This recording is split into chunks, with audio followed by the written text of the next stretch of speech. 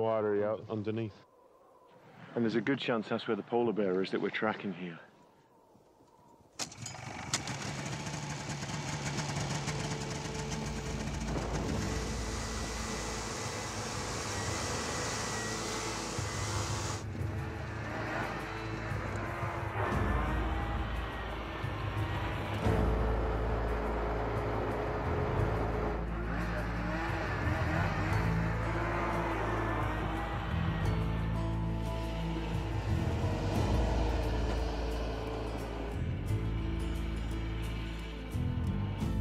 It's been an exhaustive search. And still the bear remains elusive. Why were you checking which way the wind's blowing? Just so the entryway is on the opposite end. Oh, right. We don't want it facing the wind. Right. I guess that's really important when it Mhm. blows at 40 or 50 miles an hour, especially. I think.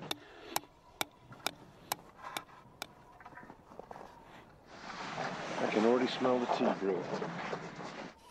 Our camp is modest, but functional in every way. I'm discovering there's little that Dale does that doesn't relate directly to our own survival. Even the caribou hides seem to be the perfect insulation against the cold. See how it kind of Yeah.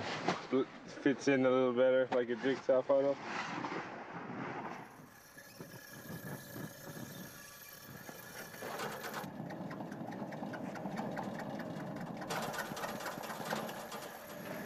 Ah, Hawaii.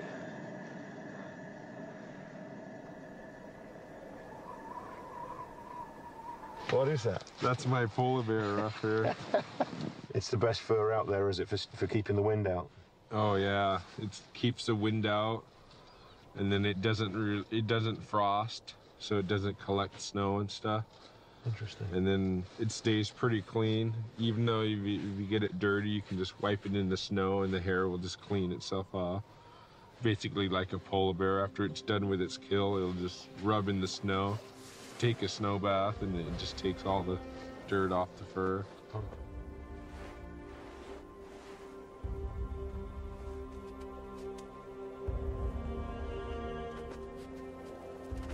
Polar bears are stealth hunters. And just because you don't see them doesn't mean they're not there. Let's see what we can do without breaking my ankles. Yeah. Perfect vantage point.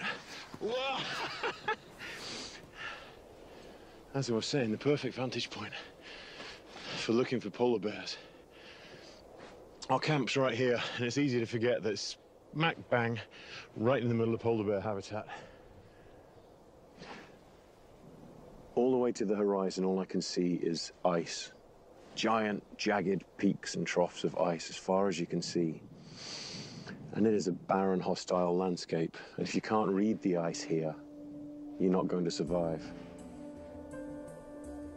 Polar bears are masters at reading the ice, patrolling the edge of a lead, smelling for any trace of a seal.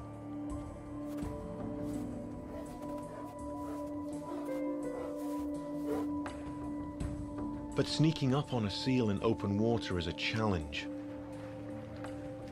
even for a polar bear.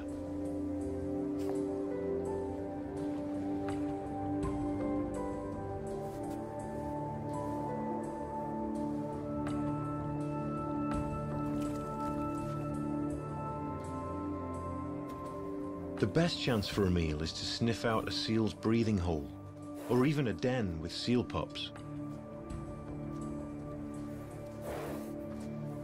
It's a rare sight, but Dale has observed polar bears hunting. Like, say if there was a hole here, and the bear will squish it like that.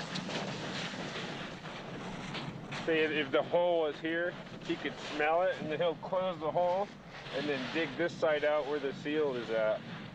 And he'll just scoop the seal out. It's one of the earliest instinctive behaviors for polar bear cubs. While their mum rests, these cubs will practice what it takes to become the apex predator of the Arctic. learning to lead with your nose. Investigate anything out of the ordinary. Leap across unstable chunks of ice. And of course, the belly flop. But when Mum huffs, the cubs know it's time to continue with the real hunt.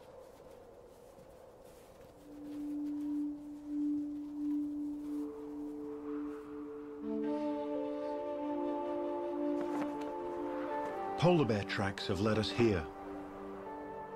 A whaling camp perched at the edge of a lead. A bear was spotted just a day ago, perhaps the very one we're looking for. For the Inupiat, whale hunting is an ancient way of life that continues nearly unchanged today.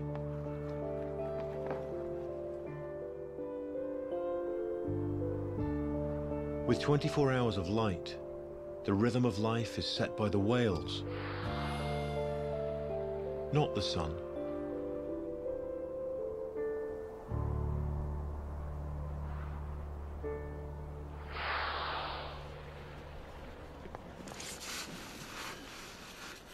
Try that out. Whale hunting is by far the most dangerous part of their subsistence life. And these young people are doing it just the way that their ancestors did. These guys are like 20, 22 years old and they've each got a role. And its importance to the community is vital. Yeah, when you become a captain and it's your first whale, you give the whole thing away to all the whaling crews. You just learned over time that what you catch isn't really yours. As a hunter, you're here to feed the town and the families, mm. not really for yourself. The Inupiat's commitment to this tradition has helped keep this part of the coastline free of oil development. Without their protection, this vital habitat may disappear completely. A whale off in the background or a blowhole there. Wow.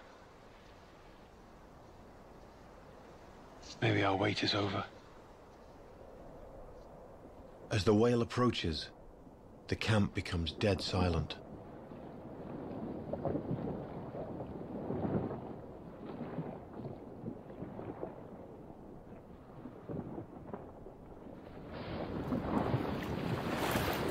As soon as the whale surfaces, the boat is launched. It's a tense moment as the men paddle towards the massive whale, somewhere just under the surface. Harpooning a whale by hand is extremely dangerous. Bowhead whales can weigh 60 tons. One swipe of its enormous tail fluke could easily crush the tiny craft.